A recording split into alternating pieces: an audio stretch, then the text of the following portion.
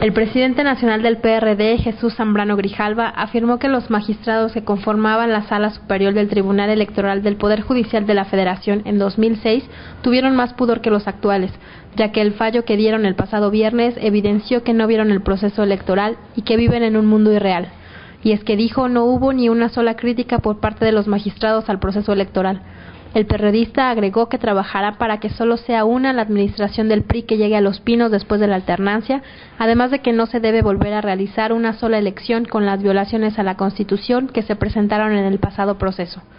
Asimismo, Jesús Zambrano aseguró que debido a que el PRI ganó la presidencia comprándola, respaldarán a Andrés Manuel López Obrador en esta lucha.